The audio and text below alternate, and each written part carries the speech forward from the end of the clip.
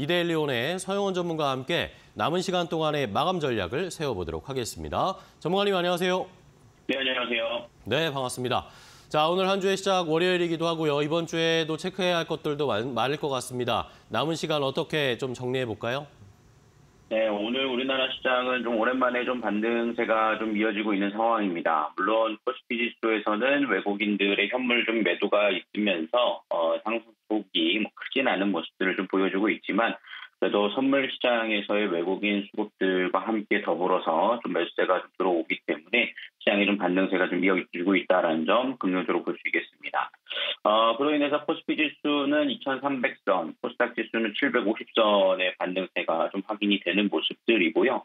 어, 특히나 선물 시장에서 310포인트, 코스피 200, 310포인트가 어, 좀 돌파가 나왔다라는 점 자체는 그래도 어느 정도 좀 저가에서 좀 매수 전환이 좀 이루어지는 어, 그런 움직임들이 전개가 되고 있다라고 좀 볼 수 있겠습니다.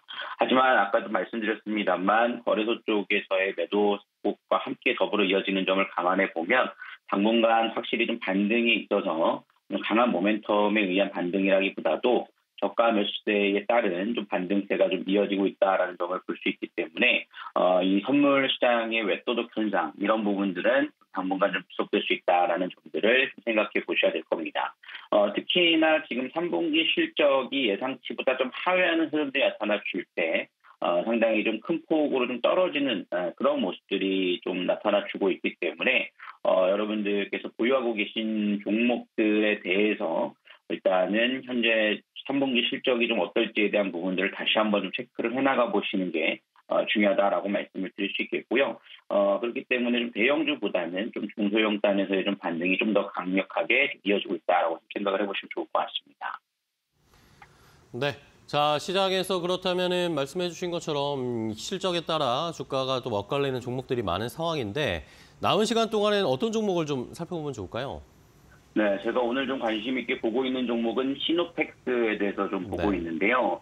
시노펙스는 뭐 필터 쪽에 대한 membrane 필터 쪽에 대한 사업도 담당을 하고 있고요. FPCB 쪽 사업을 함께 좀 담당을 하고 있는 종목입니다. 어, 최근 들어서는 biomedical 사업 부분에 대해서 좀 성장성에 대한 기대감이 상당히 높다라고 좀 볼 수 있겠고요. 특히나 지금 어, 시노펙스에서 생산하고 있는 혈액 투석기에 대한 매출 증가가 어, 기대된다라고 좀 볼 수가 있겠습니다. 어, 이로 인해서 실적에 대한 개선세가 좀 뚜렷하게 좀 이루어질 수 있을 것으로 예상을 하고 있고요. 최근 들어서 뭐 시장이 좀 조정 국면에 좀 나왔습니다만 121선자를 좀 지지해 주면서 기관성 수급들이 좀 강하게 들어온 점을 감안해 보면 시장이 좀 반등이 나올 때 좀 더 탄력적으로 좀 움직일 수 있을 것으로 예상이 되는 부분이니까요. 신호팩트 좀 관심 있게 살펴보시면서 관리 한번 지켜보시면 되겠습니다. 네, 알겠습니다. 시노팩스 오늘 장 마감까지 저희도 한번 잘 살펴보도록 하겠습니다. 오늘 좋은 종목과 전략까지 소개해 주셔서 감사하고요. 다음 시간에 또 뵙겠습니다. 고맙습니다. 네, 감사합니다. 네.